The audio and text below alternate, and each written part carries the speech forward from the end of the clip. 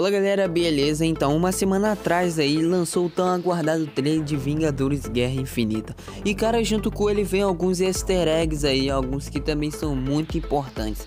Então, cara, antes de começar esse vídeo aí, já deixa aquele like. Também se inscreva no canal se você não for inscrito, ative o sininho das notificações, que você assim você não perde nenhum vídeo quando sair, beleza? Então, bora lá. O primeiro easter egg aí, eu acho que você já deve ter percebido. Porque, cara, aqui no meu canal só tem fã de quadrinho, cara. Pelo menos eu acho, né?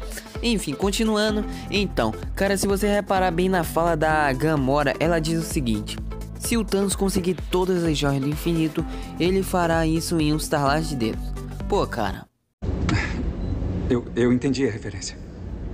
Olha só, já tá na cara que ele fez uma referência aí àquela cena dos quadrinhos onde ele reúne todas as joias do infinito e com apenas um estalar de dedos ele acaba com metade do universo, cara. É todo sinistro, né? Tudo isso pra impressionar a morte, infelizmente. Galera, agora o próximo é bem interessante também. Lembra daquela cena em que os Guardiões da Galáxia descem de uma nave? Então, se vocês repararem bem no canto esquerdo aí, cara, vocês vão ver aquela bola ali. Mas vocês vão perguntar o que que tem. Cara, mas se vocês relembrarem no primeiro filme dos Guardiões da Galáxia, vocês já vão lembrar que aquela é uma das naves que eles usaram para fugir do Rona, lá em lugar nenhum, naquele, naquela cabeça daquele celestial gigante lá. E cara, se eles estão chegando em lugar nenhum, eles provavelmente vão direto para a casa do colecionador, onde foi mostrado em um vídeo vazado aí que eu acho que vocês já viram. Quando eles chegam lá, Thanos também aparece lá ameaçando o colecionador por causa da joia da realidade. Galera, essa cena aqui é meio que uma trollagem da Marvel, como sempre nos trailers tem isso, né?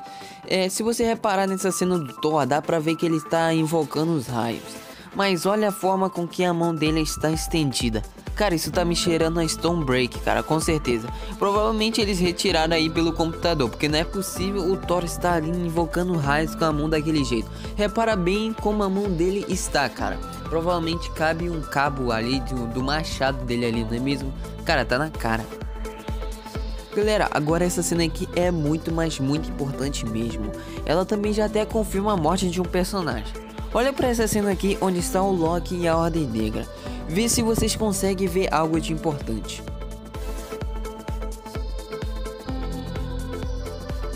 Se vocês não viram, eu vou mostrar para vocês agora.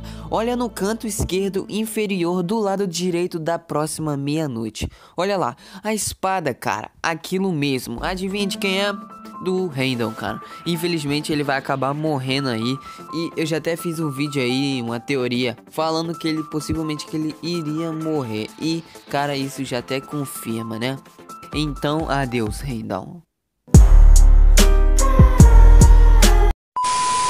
Galera, agora o último detalhe que eu achei bem interessante é onde o, Doutor Strange está sendo torturado pelo falso de Ébano. Cara, isso já aconteceu nos quadrinhos, onde o Doutor Strange tem a mente totalmente controlada pelo falso de Ébano.